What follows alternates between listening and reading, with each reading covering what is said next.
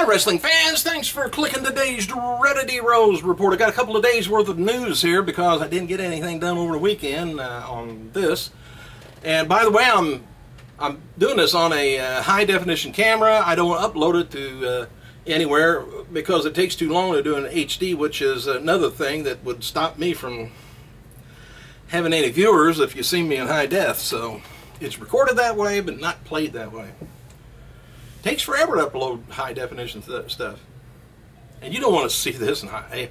Anyway, Mark Crozer, who uh, performs the and uh, wrote the Wyatt family's theme song, uh, announced on Twitter and on Facebook that he's going to be performing the song live, I guess, at WrestleMania 30. Uh, WWE website has a published list of 10 matches that you that are just too brutal for WWE.com, but will be on the network. They're still trying to get you to sign up, even though you can't sign up yet. Anyway, here's the top 10. Uh, Shawn Michaels versus Chris Jericho, Great, Amer Great American Bash 2008, Mankind versus Rock Royal Rumble 1999, Cena versus JBL Judgment Day 2005, uh, D-Generation X versus Mr. McMahon, Shane McMahon, and Big Show Unforgiven 2006, Randy Orton taking on Cactus Jack at Backlash 2004, which was a brutal match there. Uh, of course, I say the ECW things with, um, uh, what was it, uh, Terry Funk and uh, Cactus Jack or Mick. Stuff like, and Sabu carrying on. Whew. Anyway, Randy Orton, well, I told you, uh, Trish Stratus taking on Stephanie McMahon. No Way Out 2001. I don't know how brutal that was. I'll maybe have to look back at that. Uh, Undertaker taking on Brock Lesnar, No Mercy, uh, 2002. Yep, Brock and Taker. Uh, Ric Flair versus Mr. McMahon, Royal Rumble uh, 2002. Bret Hart versus Stone Cold Steve Austin, WrestleMania 13. Batista taking on Triple H at uh, 2005 Vengeance. I think Bret, I mean, uh, uh, Shawn Michaels taking on Mr. McMahon was a brutal match too he jumped off a I don't know, 12 foot, 15 foot ladder onto Vince's head that was stuck inside of a trash can. Oh well. And as uh, noted uh, several months ago, JBL and Michael Cole, they're doing a weight loss challenge and uh, they're preparing to climb some sort of a mountain. They don't want to pull up any more fat than they have to. JBL noted that uh, today is the 40th, a day 40 of their challenge and he's down 21 and a half pounds and uh, he's got 32.5 to go. Cole is down 13 pounds with 27 left to uh, lose. Man, they're going to be really thin. Uh, I'm on a weight loss challenge too. Boy, it's challenging. PWI Insider confirms now Undertaker is scheduled to return to WWE TV February 24th. Raw, Green Bay, Wisconsin. Going to set up something for WrestleMania. And will it be Lesnar? I think he, he needs to do that fairly soon. Taker's get a little bit of an age on him. Don't need to wait the next year. Uh, there's uh, reports mentioned the return has just been locked in within the past 48 hours, and WWE is calling his uh, return to help kick off the WWE Network launch. Also to start a storyline for 30. Uh, Rock noted on Facebook that uh, his next book will cover the years of 2000 to 2014, being written by Joe Layden. I don't know why The Rock's not doing it, except he probably don't have time. Uh, who uh, worked on the first book that came out in 2000 for The Rock. And um, it's going to be released just in time for the holidays. And amazing and jarring to go back and uh, experience my life again from 2000 to 2014, writing my second memoir. Um, Life speaks uh, peaks and valleys uh, and a shot of tequila, he says. Looking forward to sharing it with you for the holidays. And uh, CM Punk's been uh, pulled from the schedule for Comedy Central's uh, midnight show. Punk was scheduled to appear February 12th, and regarding Punk's upcoming appearance at the Comic World uh, Comic Con in Louisville, there's some speculation that he was pulled from there also and that he's no longer a talent listing, but is still listed on Wizard World header, though, and WWE website. So what to do? What do we think, huh? CBS Pittsburgh has published an article, this is interesting, on WWE deciding to air the controversial Over the Edge 1999 pay per view on the network. WWE should issue the following statement on Friday. It says uh, WWE Network will be airing the 1999 Over the Edge pay per view, however, portions of the event will be edited out of respect for Owen Hart. Uh, I think they could finally do that now because I, I'm pretty sure the Diana uh, Hart lawsuit and everything, I think, is settled. I think it's over with. Finally. All right, before the Royal Rumble last month, CBS spoke with Stephanie about Over the Edge 1999. She said that they uh, had not made a decision at that time. Stephanie did confirm that Chris Benoit matches will be on the network. In a uh, in the video above, Stephanie said there are incredible challenges, uh, challenging decisions to make, and at the end of the day, we try to do what's right for our fans, and we try to give them exactly what they want to see. I don't believe all of that, but uh, it's nice of her to at least say that. And WWE Network uh, website has posted Black History Month uh, with uh, Big E Langston, and he's going to make you watch it. Don't try not to. Bella Twins and others are hosting an anti-bullying rally at uh, James Madison Middle School, North uh, Hollywood, California today. Uh, Zeb Colter and uh, Steve Austin, they're recording some interviews for uh, Austin's podcast this afternoon. And it appears Austin heading towards the Staples Center uh, in Los Angeles, side of tonight's Raw. I wonder what's up. Hmm? PWI Insider reports that WWE is begin, beginning to use a new company logo once the network uh, launches later this month. It's the same logo we've seen on the network materials and a new WWE jet uh, that Stephanie McMahon posted on in a uh, photo next week. So I guess they're changing the logo they're talking about on the TV shows to the network W's. As noted before, old Jey Uso worked last night's Raw main event in Bakersfield last night without Jimmy because he's likely at home uh, with Naomi taking care of her eye. I would think maybe he's, you know, lower, but just taking care of her eye, that's all right. And WWE uh, Home Videos filming Batista with the Imperial Car Club in Los Angeles on Sunday. And they also filmed him doing some training at LA Fitness Center in the Playa Vista gym. It appears WWE is working on a new Batista DVD. And Vince McMahon joked on Twitter that he has a date with Betty White on tonight's Raw. I don't know whether he's joking or not. Here's a guy that's constantly got himself in trouble and uh, TMZ is in everybody's business, and they always find out about it.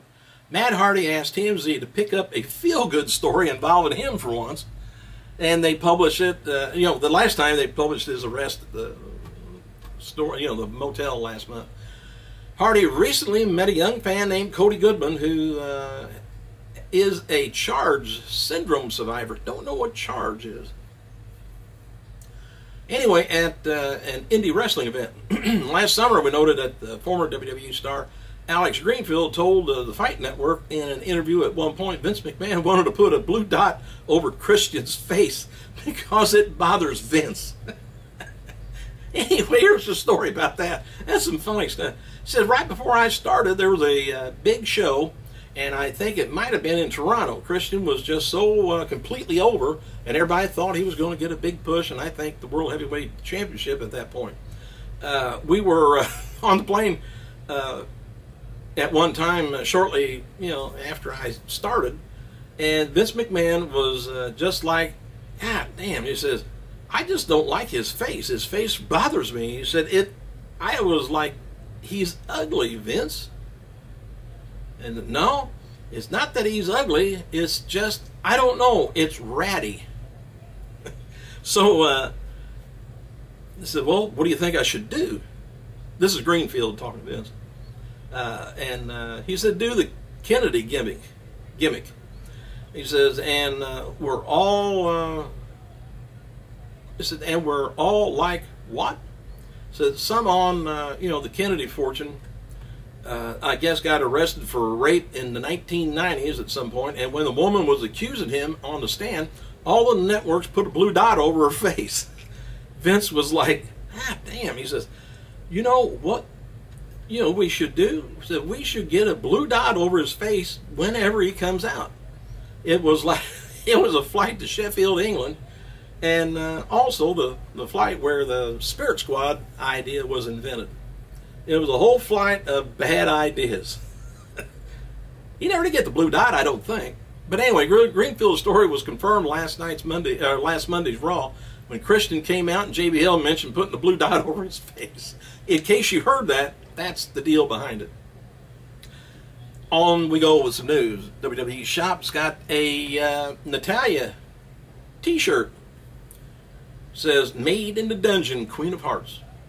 Uh, Underground Toys have been uh, is going to be unveiling unveiling their uh, plush, uh, talking plush WWE toys at the New York uh, Toy Fair this year.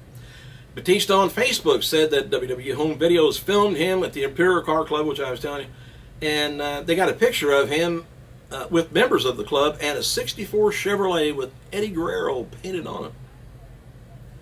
WWE NXT Sarah Backman has been given her uh, new NXT ring gear, a uh, ring name, uh, Sarah. Weird way to spell it though. S H A R A, Sarah. Anyway, she can be found on Twitter at uh, you know Sarah WWE. Backman is uh, the first Swedish female uh, wrestler and former arm wrestling champion. So we know what to expect soon, as soon as she gets on the roster. And uh, F4W Online confirms that uh, WWE officials are discussing putting the idea together onto WWE World Heavyweight Title Dan Daniel Bryan match with Batista and Daniel Bryan at WrestleMania 30. So making it a, a triple threat with uh, you know the title plus Batista and Bryan. Uh, Bryan versus uh, Triple H in the singles match is also on the table. Um, and noted WWE officials are holding off on any main decision until at least Elimination Chamber is over. You never know who's going to get hurt in anything.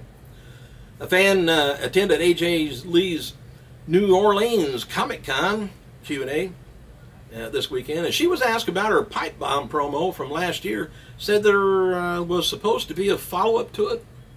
AJ said that while her, uh, well, you know, uh, she was in her character, had been acting like a douche, and uh, she still hopes that other divas will realize that she was more like trying to get things to happen for the diva division and get them more time on television.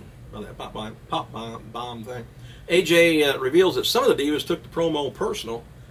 Uh, she said it was unfortunate that the follow-up to her pipe bomb got dropped due to the personal feelings of the other divas that they had. Oh. And regarding Roman Reigns' future with WWE, it's said that officials have the idea that Reigns will be the top guy one day, and they got a feeling Reigns may be the next heir, apparently, to John Cena. Former WWE and TNA star Lisa Marie Varon, Tara, Victoria, whatever you want to call her, uh, she's going to be uh, celebrating her birthday with fans at the Squared Circle restaurant Chicago tonight for Raw. And WWE uh, stars Lana and Alexander Rusev uh, attended Los Angeles Clippers uh, NBA game on Sunday night. Good thing they didn't go to the Laker game. They would have been bored crazy. Natalia, Natalya mentioned on Twitter that Shop uh, uh, got her first ever T-shirt. I didn't tell you that. Uh, said, I hope it makes fans happy. Waller returned to the ring at Saturday night's Maryland Championship Wrestling event. He defeated Sean Patrick after a pile driver. Goldust says, I wanted to do something that uh, I've never done he's trying new things in the ring. He says something that everyone looks at and says Goldust can't do that. Says, oh my God, Goldust just did that, and leave him with uh, I can't believe Gold just Goldust just did that. That's awesome. I don't know what he's trying to do, but he's trying to do something a little different, which is good. And a fan on Twitter, like uh, like uh, other fans on YouTube, uh, video about Kurt Angle wanting him to return to WWE, he asked Angle if it was true. Of course, Kurt Angle, it's true. It's true. And uh, John Cena tweeted the following this afternoon. He says, okay, self, body is beat to hell. Everything feels like slow motion. Big night tonight. Focus up. Begin to move. Uh, find a way to never give up. Also, today would have been the birthday of one-time uh, world-class champion heavyweight uh, uh gentleman Chris Adams would have been 59 years old, and former WWF WCW, ECW wrestler Louie Spicolli, 43 years old. And on this day, we lost two personalities on this date. First was in 1984, Hall of Famer uh, David Von Erich died at just the age of 25. While competing in All Japan Pro Wrestling, David uh, died to, uh, due to a heart attack brought on by enteritis. I'm not sure. I think it's got something to do with the heart uh, muscle. Uh, also in uh, 2003, fellow WWE Hall of Famer Mr. Perfect Curt Hennig died at the age of 44 years old. Uh, after a brief stint in XWF, Hennig uh, returned to WWF, though was quickly released for his part in the infamous Plane Ride from Hell. If you ever want to look that up, that was interesting. Uh, anyway, his last major run saw him uh, challenge Jeff Jarrett for a uh, NWA World Title in the Young TNA promotion, but he was found dead in his Florida hotel room of a cocaine overdose. Thanks for clicking, you guys. I gotta go.